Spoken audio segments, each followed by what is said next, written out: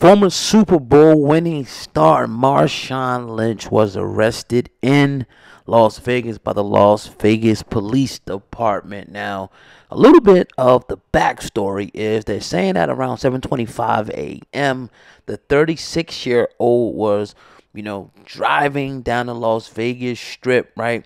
They saying that he was allegedly right swerving his vehicle into curbs and you know um on the roadside before coming to a traffic stop. Now, they say through the course of the investigation, officers determined that Lynch was impaired and conducted an arrest.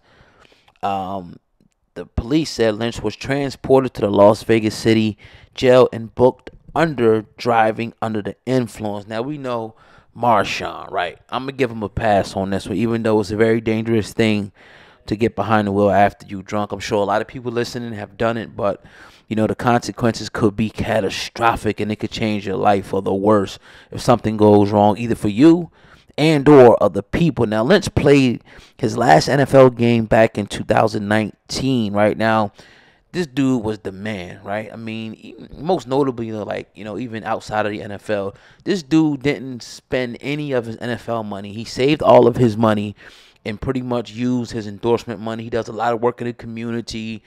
The brother had a drink. It was bad judgment, you know, allegedly. If he, you know, this is all this is true, what they're saying. It was a bad judgment call. Almost like Henry Ruggs, right? Henry Ruggs, you know, young kid, a lot of money. He goes, he gets twisted with his girlfriend, and he in a vet doing a hundred something miles an hour. We probably all have been there, but it's just with, with Uber and Lyft and all these different driving services and whatever, don't take the chance. Even if you think that, you know, I just had a couple of drinks, had a few drinks, don't take the chance because a few drinks, if you hit somebody, you know, something goes wrong and they test you, you could be, you know, on the line for a body, man. So let this be a lesson. Good thing nothing serious happened to him. You know, I know a lot of friends of mine who got DUIs. You know, guys who got two, three of them, and trust me, you know, they got to blow in a breathalyzer. It's not a good place to be. And you know, I know the majority of people that listen to this channel, you know, um, are you know probably 25 to maybe 45, 50 years old. So I'm preaching to the choir. I get it, but for the youngster that may be out there, or even an old person that may do it regularly, man, trust me, it is not worth it. A friend of mine, you know, um, was just telling me how he got hit with one and it's just a lot. You get suspended licenses. You know, you're paying fines out the wazoo. It's a stain on your record. You just don't want to do it. I advise against it. Even though you know, over the years as a youngster, you know, I will go clubbing in Philly.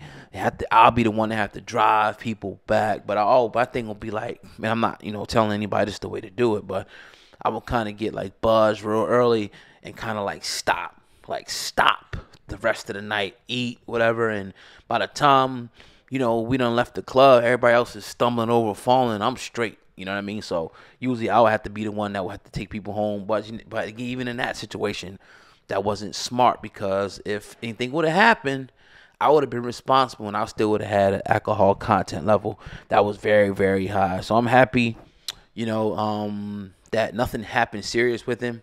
And I hope this, this could just be a learning lesson for Marshawn because he's one of my favorite dudes you know, in the NFL because what he stands for outside of the NFL. But let me know what you guys think in the comment section, man. Tell me uh, if you got a story, a DUI story like this, if you know friends that done it, man. And um, it's, sauce is good, man. You know, uh, the website is hiphopun.com, hip hop the letter un.com for all your latest hip hop news, man. We doing it, man. On a road to one million subscribers. You can help us get there by hitting that subscribe button. Yeah, and we're gonna get there either way. But you're gonna help us get there faster. Smash that subscribe button, man. It's your boy, oh God, man. Say it with your boy, man. Hip hop uncensored is the vibe. So subscribe. Peace.